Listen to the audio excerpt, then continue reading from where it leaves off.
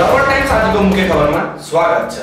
म सागर निगम साथ सुरु गरौँ आजका मुख्य खबरहरू। पछिल्लो चौबिस घन्टामा देशभर बाह्र सय एकजनामा कोरोना सङ्क्रमण पुष्टि भएको छ। त्यस्तै पछिल्लो चौबिस घन्टामा काठमाडौँ उपत्यकामा चार सय एकतिसजना सङ्क्रमित थपिएका छन्। सत्तारूढ नेकपाको स्थायी कमिटीको बैठकले मिलेनियम च्यालेन्ज कर्पोरेसन एमसिसी सम्झौता परिमार्जन सहित सङ्घीय संसद प्रतिनिधि सभाबाट पारित गर्ने निर्णय गरेको छ।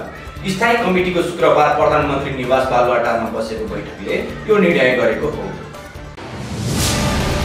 कोभिड नाइन्टिनका कारण उत्पन्न विषय परिस्थितिमा बहराइनका लागि नेपाली राजदूतावासले नेपाल फर्कन चाहने एक सय छयालिसजना नेपालीलाई विमान चार्टर गरेर बिहिबार नेपाल ल्याएको छ। कम्पनी बन्द भएर श्रम सम्झौता सकिएर नेपाल फर्किन इच्छुक कामदारलाई स्वदेश फर्काइएको हो।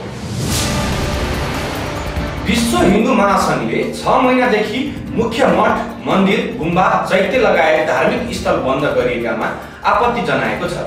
महासङ्घले भौतिक दूरी कायम राखी सांस्कृतिक स्थल खुल्ला गर्न माग गरेको छ। नेपालमा पछिल्लो दस वर्षमा करिब चालिस लाख रोजगारी सिर्जना भएको विश्व बैङ्कको एक रिपोर्टले जनाएको छ। बैङ्कले सार्वजनिक गरेको नेपाल डायग्नोस्टिक रिपोर्टले यस्तो देखाएको हो। सङ्घीय संसदको शिक्षा तथा स्वास्थ्य उपसमितिले कोरोना अस्पतालको अनुगमन गरेको छ।